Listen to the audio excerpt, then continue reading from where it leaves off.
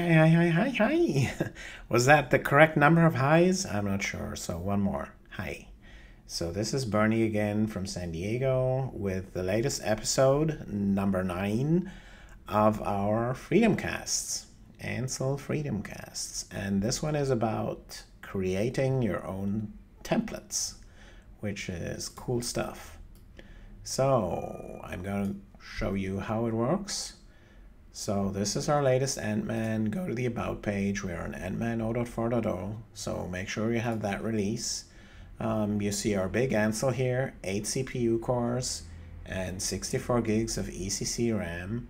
Um, we've worked with this Antsle in uh, FreedomCast number 8. Um, but for today, we go back to our small Antsle. It just has 4 CPU cores and 8 gigs of RAM. So, and this is the one that we used for the early Freedom Cast, number one, two, three, four, five. So um, you might recognize one of these antlets, some of these antlets here. We used them in, in the earlier Freedom Casts, one of which is the MkDocs. So um, let's see the details of our MkDocs antlet. It was created October 25th from the template Debian LXC. Uh, we already have uh, three uh, snapshots here.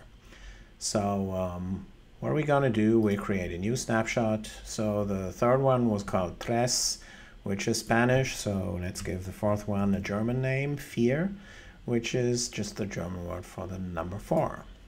So we've created this one here, the uh, and we have a nice uh, notification up here.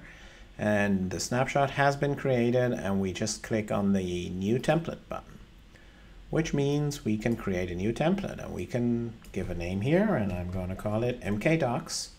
So this is our mkdocs template. Create template. Yep, template is created. It's all instantaneous, no long waiting. So compare that with Amazon Web Services when you want to create a snapshot or anything, you wait ages. And here with Antsle, it's all instantaneous. It's absolutely awesome. All right, so we have that snapshot, and from this snapshot, we've created our own template. We've named that template mkdocs. And when we go to the new antlet now, here we see the mkdocs. So that's our new template. And we create an, ant an antlet from it. Let's call that antlet new docs, okay? So this is our new docs antlet, um, and we just created. It It has uh, IP 10.11.18. So now, and let's start it also. All right, started. So let's look at our terminal.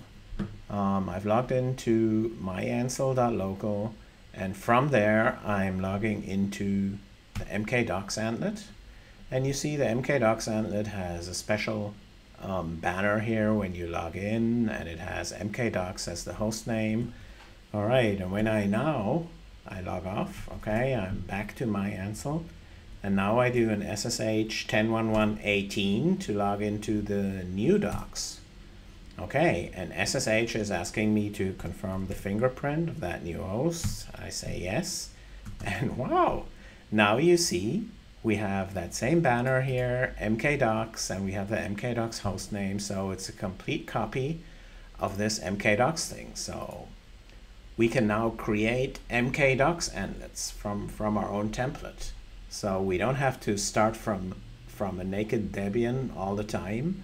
We can use a Debian and then install something, in this case, mkdocs, then take a snapshot, then create a template from it. And from that template, we can create as many antlets as we want. So this is really, really cool stuff.